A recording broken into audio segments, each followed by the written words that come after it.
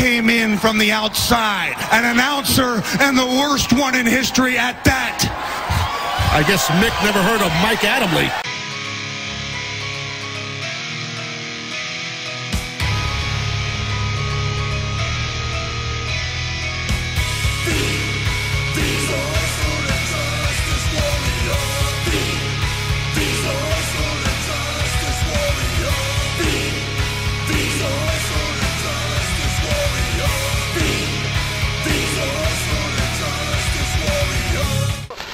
I hate this channel. These videos are satiric reviews. You don't have to agree, but don't bitch about it. Hey there, I'm Social Justice Warrior Vee Infuso, and today I'm going to talk about the worst general manager. Nay, the worst on screen authority figure in all of wrestling history. No, I'm not talking about Bret Hart. He was too boring.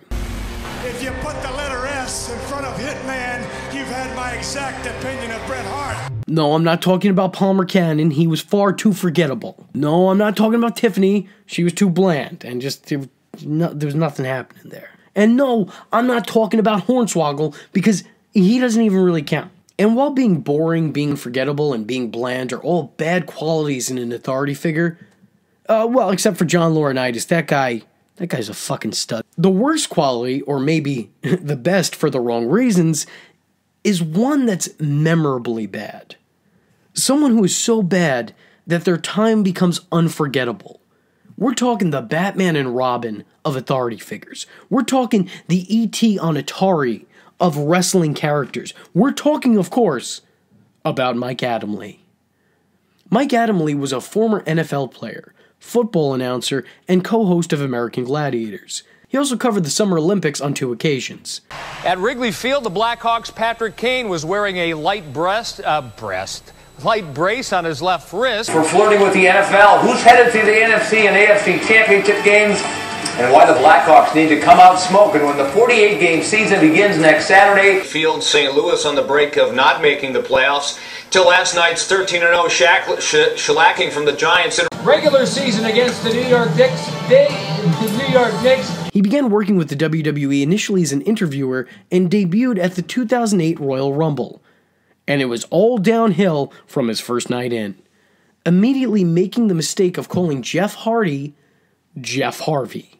Another man who's been waiting anxiously with anticipation. His name is Jeff Harvey. Hardy. I accidentally called Jeff Hardy Jeff Harvey. But then again, maybe he wasn't as wrong as we thought. Mandela. I want to believe. You see, everybody in this world makes mistakes. Everybody has those days. One, two, three, four. Well, JR and King, of course, John Cena is looking to reclaim the WWE Championship.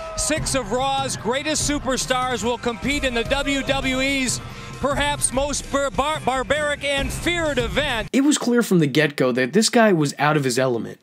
Forget it, you're out of your element. You're out of your element.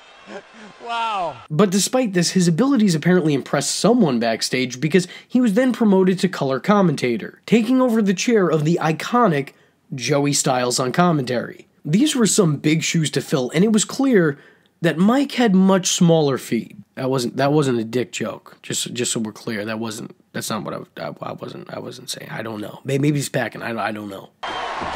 You're making me crazy, Kofi. One, two, three. That's it. Unos dos, adios. And we've got to give credit to Jimmy. Jimmy Wang Yang Yeah, for yeah. sure. I'm Mike Adamle alongside the Tazz. This was a man who was cast out to sea without ever learning how to swim. This was a man out of his comfort zone as he spent his entire time as the new voice of ECW, constantly making mistakes or very bad dad puns.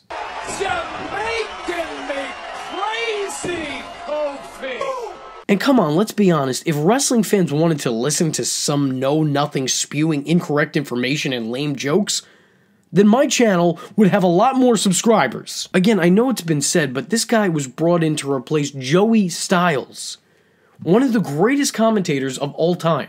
Gone. Bye bye, see you later. Replaced by a guy who didn't know a camel clutch from a camel toe.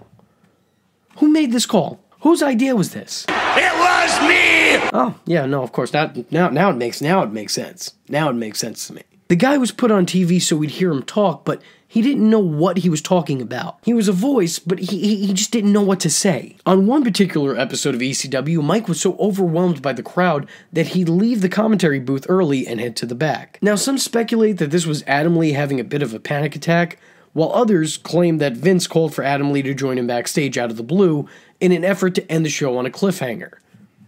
Except here's the problem no one liked hearing Mike commentate. Him leaving isn't a cliffhanger, it, it's a means for applause.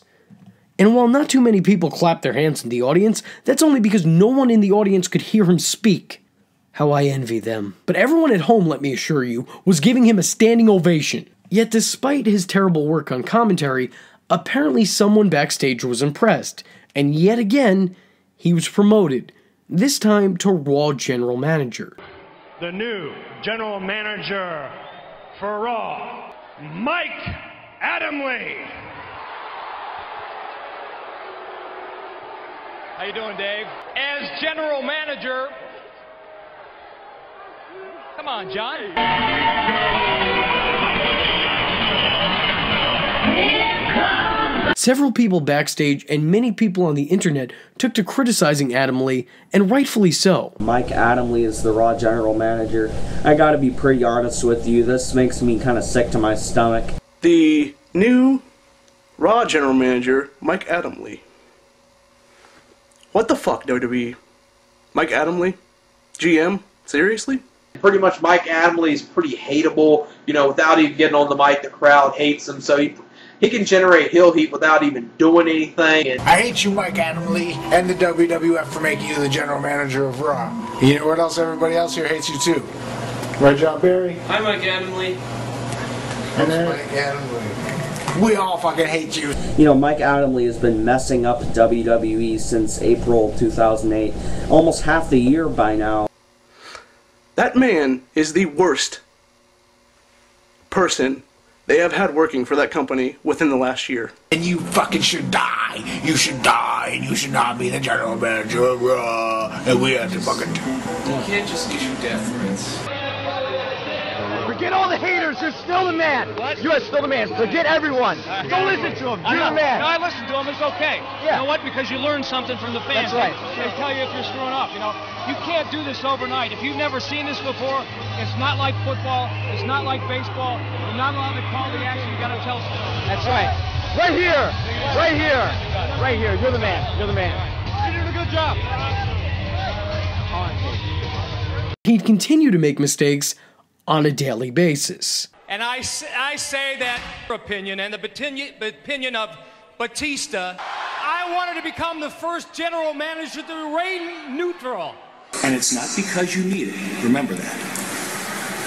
It's because you want it. That's aggressive. Maybe a little too aggressive. You kids, uh, you kids have a good time. You see, I, I have to defend a title that night. That's what I intended to do.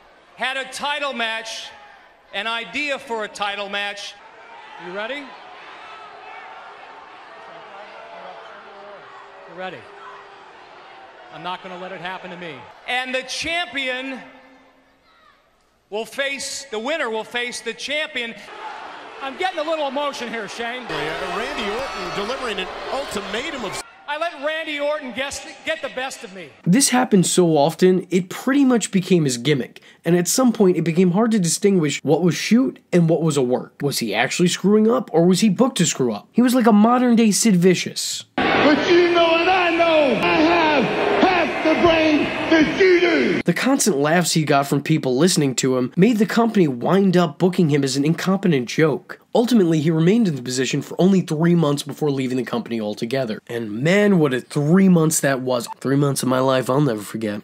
I am resigning as the general manager of Raw. Mike Adamle is a guy who practically fell up the ladder of success. He failed on his way to the top, and every time he screwed up, he was given a higher position, which made him that much more disliked by the fans watching. And I'm sure some of his coworkers weren't pleased about him calling their moves wrong, mispronouncing their names, or just getting a vast majority of things he said incorrect. The Mike Adamle era was short lived, but by far will be best remembered for being the worst. But to his credit, whether intentional or not, and most likely it wasn't, it was fun. It was fun. I mentioned before that he was the Batman and Robin of wrestling, but the thing about Batman and Robin, the movie, is it's fun to watch.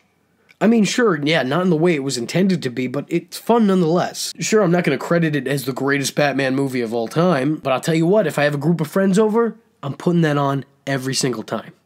Every single time. And they hate me for it. And that's actually why I don't have friends. But I think my point stands regardless. It was fun. I had fun. Thank you, Mike. Mike was the definition of so bad it's good. I tuned in religiously around this time just because I wanted to see what he'd do next. What line would he flub up? What cue would he miss? What mistake would he make? And I'll tell you what, the guy never let me down. Not once. The guy never failed in failing. He never let me down in letting me down. Nowadays, at the time of me making this, Mike has come forward about suffering dementia and epilepsy, and potential CTE issues, which is sad because no one deserves that. But also because Mike always seemed like a genuinely nice guy. A sweet dude who was in a little over his head. And wait a second. No, no, hold on. He's 69? This motherfucker's pushing 70 and he looks better than me at my prime? God damn, ain't that a bitch? Look, Mike, I'm, I'm sorry that your interior isn't working the way it used to, but goddamn, man. But goddamn, man, you gotta let me in on the secret of how you keep your exterior looking like a brand new model. Good on you, man. Good, good on you. Just good on you. Perfectly coiffed head of hair. Fucking bastard. I mean, look at you, 70 years old, and the only sign of aging is that you have crow's feet. Dude still has a full head of hair too. Look at that. That's just that that, that that's just not fair.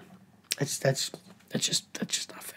Well, let me tell you something, brother. You're watching the Social Injustice Warrior Vee Infuso's channel, dude. So if you like the words that came out of his mouth hole and you too want to become a V-tard, don't forget to like and subscribe and click that little bell icon to get updates and notifications. Ooh, tell him what up, Mach. Ooh, yeah.